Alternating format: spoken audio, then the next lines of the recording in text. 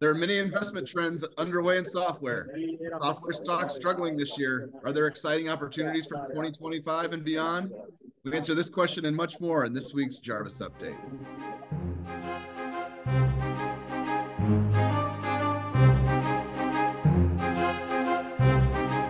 I'm your host, Brian Dress, Director of Research here at Left Brain, joined as always by our CEO and Chief Investment Officer, Noland Langford.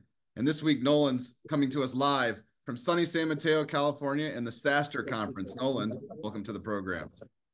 Hey, Brian, it's, it's great to be here. I wish I was outside in the sunshine, uh, but because of us recording and technology, I'm actually inside. So happy to be here today sharing my thoughts on SaaStr. Before we get started, a quick preview for you. Noland's going to be sharing his findings with us from being out at the SaaStr conference. That's the Software as a Service conference. Uh, we're going to have two topics for you as we usually do. The first is going to be a quick recap of the conference. And then our second point is going to be takeaways and trends for investors. And Noland, first question for you. What made you decide to attend SaaStr this year? Growth part of what we've always done for clients is we're trying to spot winners. Our clients hire us, and one of the things that um, they want us to do is, is produce growth. And a lot of clients need it, whether you're retired or not retired. Most people want to see their account values grow and their standard of living improve. One of the ways to do it is participating in the capital markets here in the US. Uh, we're generalists, so we're very interested in sectors that can uh, move the arrow for clients. So that's what brought me here to see what's happening in software and in growth land. We'll jump right into the topics. So topic one is recapping SaaStr. Again, this is the Software as a Service conference, SaaStr out in California. We'd like to ask you first, Noland, what companies are out at SaaStr this year and who have you had the opportunity to speak with? So a lot of the big names you would expect, a lot of the big tech behemoths are here. IBM, Google is here. They have a big, big presence here. Oracle Cloud is here and booking.com. Those are some of the larger ones. Uh, I've been more interested in uh, ones that have piqued my attention is some of these smaller mid-cap companies that we've been following. So I just heard a big interview with uh, René Lacerte, who's the CEO of Bill.com. And another one who's a recent IPO is Klaviyo, uh, they spoke yesterday. So those are some of the ones that have uh, that I've paid attention to that caught my attention. Tech, especially software, has been on a roller coaster ride over the last year. Specifically, software. The stocks have struggled in software, and revenue growth's been challenged. Of course, we know there's a correlation between revenue growth and stock prices. Uh, so I wanted to know, Noland, what have you learned about the state of the software business right now?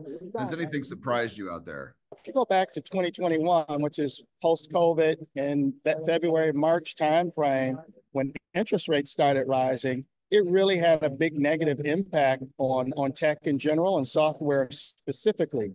Not necessarily from a business standpoint. They first showed up because the stock prices started decreasing when interest rates went up and valuations compressed. Businesses held in there. And then we went to the supply chain issue. A lot of these companies in software, you can go back to 2022, 2021, and you can still find some real good quality companies that stock prices are halved and sometimes more since that time frame. And a lot of them haven't really recovered yet. One of the things that um, we hear on these earnings call, you know, in my Noland's notes this year, I mentioned 10 is the new 20, meaning that these growth rates of some of these software companies, which were 30, 40, 50% several years ago, now some of these companies are struggling for any positive revenue growth, and some of them are posting mid-single digit growth. And so one of the things that uh, has been interesting being at the conference, hearing from these companies directly, and we find out the struggle is real. You know, what started out as a consumer struggle a couple of years ago with inflation crimping consumer spending has really uh, manifested itself in the business arena, small, mid-sized businesses, all the way up to enterprises. So spending from the corporate standpoint and the software and other areas has definitely been impacted growth rates have slowed in software, which is part of one of the reasons that the companies have struggled somewhat. Kind of to that point, Noland, we've been reading a lot of these conference calls over the last few quarters, but it's been harder for companies to close deals with enterprise customers. What have you heard out there about deal flow for these companies and, and any trends with respect to customer trends and customer behavior out there? The customer scrutiny on, on closing deals is real. So there's some positives and negatives to draw from that. But it, these aren't company specific issues. So a lot of times on these earnings calls, you'll hear a company come out, they'll report earnings, the market will get disappointed and the stocks may fall 15, 20, 20% sometimes. And in most cases, the majority of cases, these aren't company specific issues. It's just what's happening in the industry right now. There's certainly a slowdown on spending from a technology and software standpoint. Some of it has to do with AI and cloud, which we'll talk about here in a second. But the slowdown is real. The question for us as investors is, is it temporary or is it permanent? And that's what we're trying to suss out. Excellent. So let's move on to topic two. So topic two is the trends and the takeaways from the conference. Well, and of course, you're at SaaStr not only to see if there are software pieces of software that can augment our business and what we do here, and also how we serve clients, but also to put an ear to the ground with, with respect to emerging themes for investors. We've read on many software and other conference calls that AI is a theme that's dominating tech right now.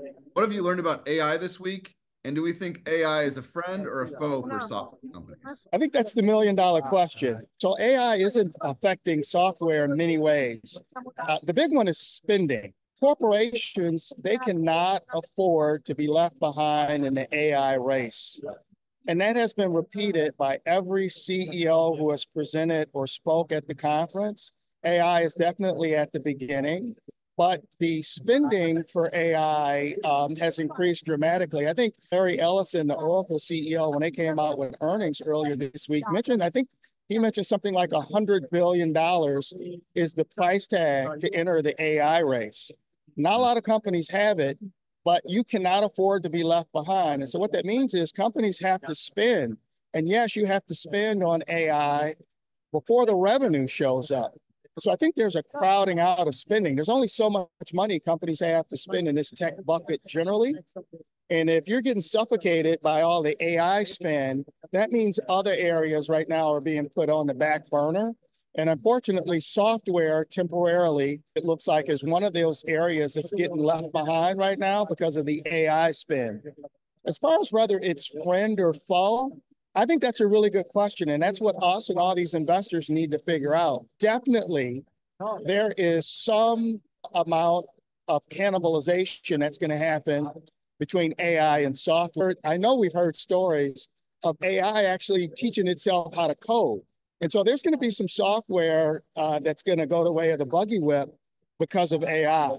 Most software companies are actually embracing AI to make their tools more efficient uh, and so there's going to be some winners and some losers. You know, a couple of names we follow, ServiceNow being the big one, embracing AI and having AI actually help them produce revenue and decrease costs. There is a certain amount uh, from businesses that'll be able to take on AI and decrease their headcount or their spend. So we know that there's going to be some margin improvement as companies use AI. So yes, there'll be some winners, there'll be some losers. We definitely want to be on the side of finding and locating and buying the winners. And then tell me a little bit more, Noland, about cloud computing. That's obviously a theme that's been big over the last five or 10 years. What are we hearing about what's going on with cloud computing these days? So cloud computing is, is here to stay. Not a lot of talk about changes made to cloud computing. One of the things that uh, cloud computing happens in the data center, and the, the data center and cloud needs to get ready for AI. So there is a huge spin for these data centers to be AI ready. So that means routing, switching, data chips, and it's a whole new architecture. Jensen Huang from NVIDIA told us it's about a trillion dollar spend. Of course, we follow a company, Arista Networks, who's been a huge beneficiary of this changeover. So we think cloud computing will continue. There will be some spend that needs to happen to keep cloud computing at the forefront, but definitely that trend is still intact. And then Noland, do you have any do you have any other takeaways for other areas of tech beyond just AI and cloud computing? Yeah, there's a few for me. One is the US is still just such a dominant place for tech. Now, I've met several CEOs and uh, startup companies and other executives that came here from other countries. Latin America and Europe comes to mind. And uh, I was having lunch yesterday with a, uh, a tech startup, uh, one gentleman from Estonia uh, and another lady from Germany that had come here. And at lunch, one of the things that they told me is, hey, I love being here in the US, and this type of thing couldn't happen in Germany or in Europe. And so I pressed them. I said, well, what do you mean? What couldn't happen in Europe that's happening here? They said, you know, all the excitement, the new innovation, they said our societies, they really don't promote that. And if you're there and you are doing something great, most of society will really cut you down and mm. discourage you from from startup or from innovation. And so they love being here just because of the energy, the idea flow. So one of the things that really impressed on me is, hey, that American flag and that U.S. passport, you know, innovation will happen here. There'll be a lot of consternation because of the election coming in about 60 days, but the, the American innovation and our, our system of capitalism and creating win winners is, is live and well. So that's one of my, um, definitely one of my takeaways. I think the other thing, most of this conference is geared towards small and mid-sized businesses, mm. either companies that are starting up and innovating or companies that are small and still growing. Some of the companies are public, some of them aren't public yet. And some of them want to grow to be these big behemoths. Even though that there's a, a, a tough cycle right now in software, there are definitely some winners and some companies that are doing exceptionally well. And it may not show up in their stock price today, but there's some companies that are doing exceptionally well. It's much harder to tell. If you go to a um, you know a time frame like uh, 2020 or, the last tech revolution, where all companies seem to be doing very well, that rising tide that lifted all boats, it's much tougher to find out who the real diamonds in the rough are. But when the seas get really rough, and companies are still doing well and still growing, they're much easier to spot. And we're going to close it out here, Noland, with the last question. I know you're there looking for investment ideas. Have you walked away with any new investment ideas, or at least some companies or segments of the market that you want to study in more detail as we look for ideas to put in client accounts? Yes, yes, and more yes. And you asked about winners. I think more importantly, Brian, what it really has my attention are losers okay. and staying away from losers. And there's a lot of businesses here, you know, as I go through the exhibit booths and, and see businesses, you know, there's a lot of saturation in tech and in software. Because it's tougher now, they're easier to spot. So a lot of these payments companies, bookkeeping, compliance, there's a lot of these analytic layers where uh, maybe you have tech, you have AI, you have software, and then these companies that that kind of layer on on top of that that, that tends to be very saturated, not a lot of differentiation. I think those companies are going to be going to have a tough time. The other thing that I've learned, I'll get to the specific names in a second, is there's a lot of point product or point solutions. You know, hey, you're a company ABC and you do this one thing.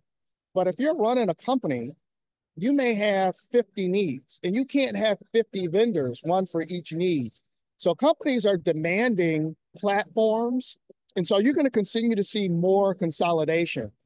And you asked about winners. One of the companies that we followed years ago that, you know, for our retail clients and our wealth management clients, too small to buy yet. But, you know, we have a private investment vehicle that, that we do have shares, and that's Bill.com. And Bill.com helps small and mid-sized businesses with accounts payable, accounts receivable, kind of the blocking and tackling of running their business. But several years ago, they got into the uh, the payments and the charge space by buying a company called Divvy. And one of the things that was mentioned is this is helping them create a platform. So before they just had one tool for one solution, but companies have great kind of payment and accounting needs to kind of run the gamut. And so I think this platformization where companies maybe are helping clients in multiple areas with one pane of glass or one dashboard, I think they're going to become more valuable to companies. And I think they'll be rewarded with higher revenues, higher market shares, and ultimately higher a higher stock price. So those are the things I'm really paying uh, paying attention to. Or there are some smaller companies, and publicly traded companies. Klaviyo is one. We haven't done work on it yet, but we will be sending that one off to our analysts to take a look at. Bill.com, I mentioned earlier. Adyen is here. There's another payment company that completes uh, competes with Stripe. And so there, there's quite a few names that we'll have on our shopping list to do a deeper dive on. Very nice, Noland. We're going to leave it there. We appreciate you being on location with us. A lot to share, really impressive. For those of you who are new, we'd like to ask you to like and share the video if you found this useful. It does help us. It also helps you if you if you subscribe and hit the bell for notifications. You find out every time we're out with a new video. That's every couple of weeks. We're talking about the markets. We're talking about planning topics and a lot of other ways to grow your wealth. We appreciate all the new viewers. And Noland, thank you for being with us. And we'll see you again next time.